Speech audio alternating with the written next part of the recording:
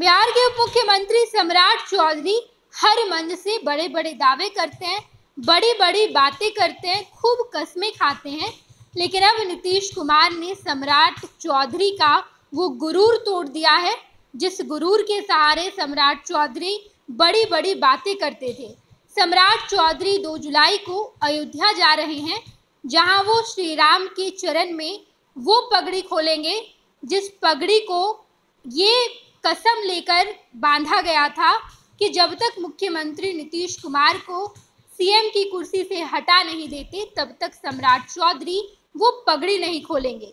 और आज आलम यह है कि नीतीश कुमार न केवल बिहार की सियासत में सबसे बड़े चेहरे हैं, बल्कि देश की सियासत में भी नीतीश कुमार की महत्वपूर्ण भूमिका है। नीतीश कुमार केंद्र की सियासत में एक ऐसे चेहरा बनकर उभरे हैं कि नीतीश कुमार के सहारे प्रधानमंत्री नरेंद्र मोदी ने अपनी सरकार बनाई है। और ऐसे में नीतीश कुमार बिहार की सियासत में भी कम किए हैं।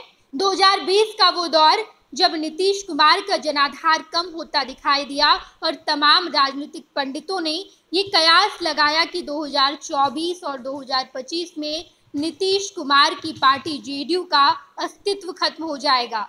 जब जेडीयू आरजेडी के साथ थी, यानी कि महागठबंधन की जब बिहार में सरकार थी, उस वक्त राजनीतिक पंडितों ने कहा कि जेडीयू का विलय आरजेडी में होगा और जब एनडीए की सरकार बनी तो ये कहा गया कि जेडीयू बीजेपी के साथ मिल जाएगी। जेडीयू का अस्तित्व खतरे में है। लेकिन नीतीश कुमार ने बिहार की सियासत में ऐसा कम किया कि ऐसे ऐसे दावेदारों के गुरूर टूट गए। सम्राट चौधरी, जो खुद को बिहार का सम्राट बनाने का सपना देख रहे थे, नीतीश कुमार के एक झटके ने सम्राट चौधरी का वो गुरूर तोड़ दिया। सम्राट चौधरी के लिए 2024 का लोकसभा चुनाव आईने की तरह काम किया। सम्राट चौधरी का क्या जनाधार है? सम्राट चौधरी का कितना वोट बैंक है? ये बात अच्छी तरीके से बीजेपी समझ गई। 2024 का वो पहला महीना, जनवरी, जब बिहार में एनडीए की सरकार बनी और वो पहला झटका सम्राट चौधरी को मिला। जब सम्राट चौधरी को ये लगा कि अब नीतीश कुमार जब एनडीए में आ चुके हैं तो सम्राट चौधरी के मुख्यमंत्री बनने का सपना अब उनसे दूर हो गया है। लेकिन तब तक सम्राट चौधरी उम्मीद लगाए बैठे थे कि 2024 के लोकसभा चुनाव के बाद शायद नीतीश कुमार का जनाधार कम हो जाए और बीजेपी नीतीश कुमार को खुद से अलग कर ले। राजनीतिक गलियारे में ये खबर भी चली थी कि एनडीए में नीतीश कुमार मात्र 2024 के लोकसभा चुनाव तक है लेकिन 2024 के लोकसभा चुनाव में नीतीश कुमार ऐसा कम करते हैं कि अब सम्राट चौधरी अपनी पगड़ी खोलने के लिए अयोध्या जा रहे हैं। 2024 के लोकसभा चुनाव के परिणाम में बीजेपी को भी आईना दिख गया। सम्राट चौधरी जैसे नेता को बीजेपी ने आगे किया उप मुख्यमंत्री बनाया, बिहार प्रदेश का अध्यक्ष बनाया और परिणाम ये हुआ कि सम्राट चौधरी के नाम पर बीजेपी को एक भी वोट नहीं मिले। कुशवाहा जाति को इकट्ठा करने के लिए, कुशवाहा जाति को गोलबंद करने के लिए सम्राट चौधरी को आगे किया गया था, लेकिन सम्राट चौधरी ने कुशवाहा जाति का वोट बैंक इकट्ठा नहीं कर पाए और यही वजह रही कि अब सम्राट चौधरी का गुरूर नीतीश कुमार एक झटके में खत्म कर चुके हैं।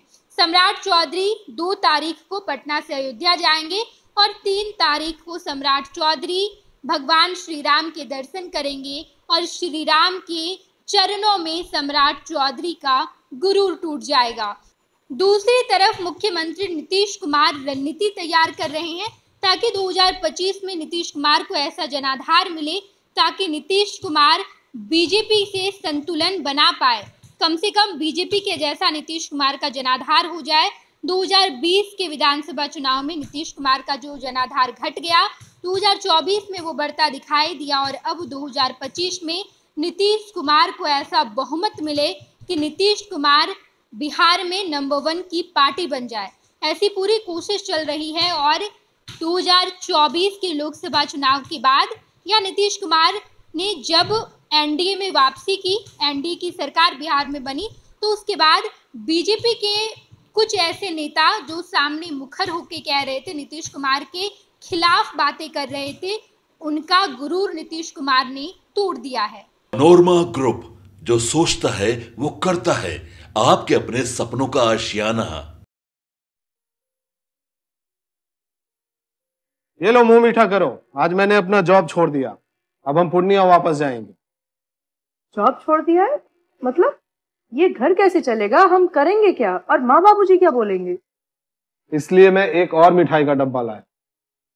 अपने बिज़नेस के लिए लोन अप्रूव हो गया। अरे लोन अप्रूव हो गया वो तो ठीक है लेकिन पूर्णिया में हम रहेंगे कहाँ? अपना घर भी तो नहीं है वहाँ। इसलिए तो एक और मिठाई का डब्बा अलग से लाया हूँ। हमने पूर्णिया में घर ले लिया है। पूर्णिया के ई होम्स पैनोरमा में। पूर्णिया में पैनोरमा ग्रुप लेकर आए हैं। ई होम्स पैनोरमा बड़ा घर आलीशान ज़िंदगी और अत्याधुनिक सुविधाओं के संग। अरे अरे अब क्यों मुँह मीठा करवा रही हो? क्योंकि हम घर वापसी जो कर रहे हैं। घर वापसी की खुशी। पूर्णिया में ई होम्स पैनोरामा के संग। E homes panorama luxurious lifestyle redefined